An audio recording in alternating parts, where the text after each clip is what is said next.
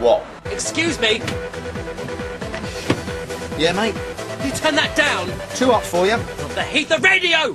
No need to shout, mate. When we relaxes the punters, bit of music. Some even have a bit of a sing-song. Really? You don't look the type for a sing-song. God, no, he's a boring. Sandra, we've been in this jam for about 20 minutes now. I know. I've been with you, sat here. Crappy, innit? And it's raining. Mental. We're in a bit of a hurry. We're meeting our clients at the... Mind you, not as long as some I've been in, though. Once I was held up for three hours with a load of Liverpool fans. That was a good day. Got almost a monkey all in. Twats. Is there another way we could go? There's always another way we could have gone. All of us. Philosophy, innit? Around the traffic! Around, eh? What, through that 10-ton bus or between that line of cars? You're always such a total... No, I don't We have a signed statement from her mother saying she can remember the bruises, and two of the kids from the home are backing up her story. What kids? David, she's 14.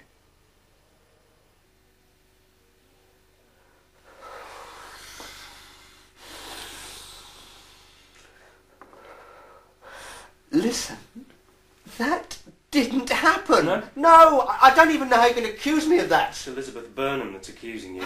Well, where's the proof? We've got four signed statements, David. There's plenty of proof. What are you telling me? That four people can concoct a story about me and that's enough?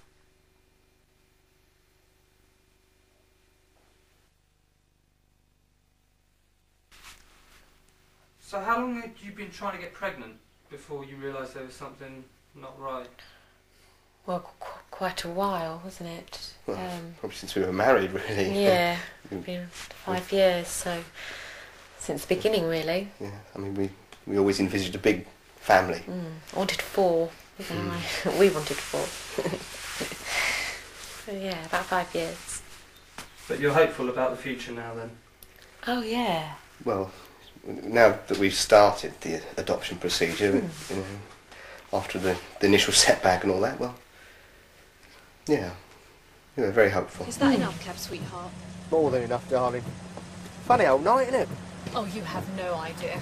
Almost every day is the same with him. Such a drama. Well, Cabs, take care. Hope you have a lovely night. I hope you get out of this traffic soon. It's all right, darling. Looks like it's shifting. Oh, sod's law. Speaking of sods. Martin!